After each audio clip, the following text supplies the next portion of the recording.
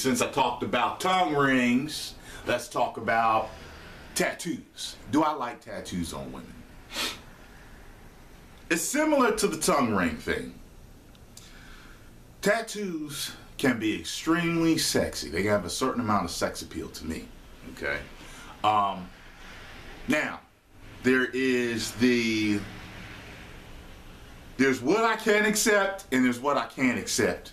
There's there, there's there's there's there's there's you know one night stand tattoos and then there's wife material tattoos that I can take. Okay, and I know a lot of guys are like me. So here's the thing.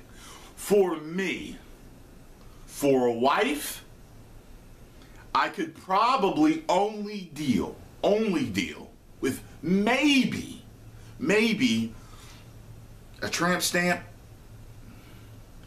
maybe one on the back of the neck right around here, maybe, maybe, not on the arms, not on the legs, not on your fucking titties, no paw prints going up your titties, that's stripper shit, um, going up your leg, that's stripper shit. Um, I don't even really want to see one on your foot. I'd rather have them all that could be covered. I find tramp stamps kind of sexy though, so I could probably deal with that. Like one of my friends, he has a tramp stamp, and that was not too bad. When I saw it, I thought I thought it was pretty nice. Um, now all the tattooed people don't get mad at me. I'm saying I'm just giving my my opinion.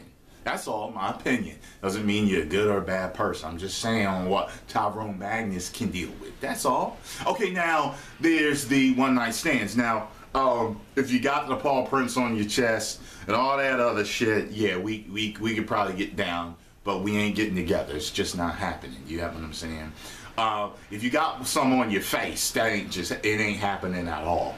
You know what I'm saying? There's an article about a girl who got her boyfriend's name tattooed on her face like after knowing him for a day or something like that. It's find it on Yahoo. She's fucking retarded as far as I'm concerned.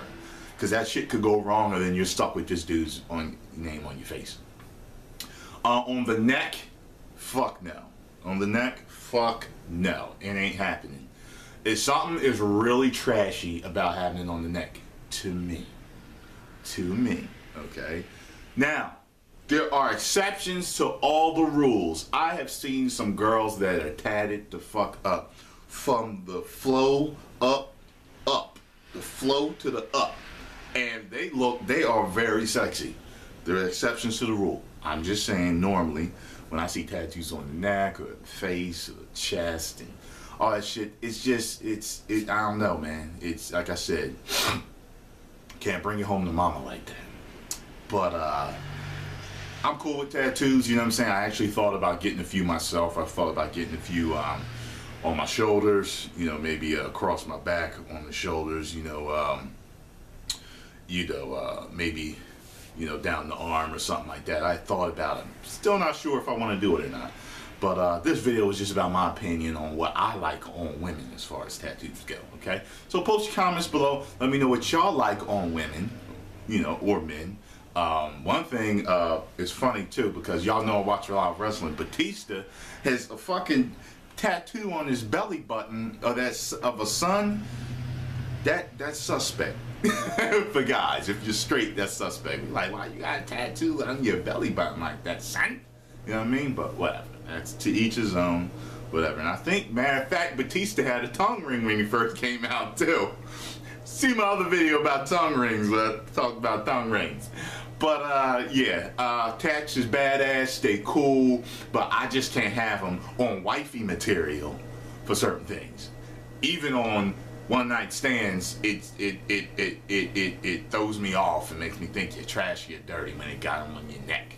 You know what I mean? A Chinese symbol right here or your fucking name, you know, pinky or something like that. Nah, I don't feel like dealing with that shit. Oh yeah, nasty ass tattoos too, where someone will say something like, like they'll put juicy on their butt cheek or something. Like, uh, nah, come on now.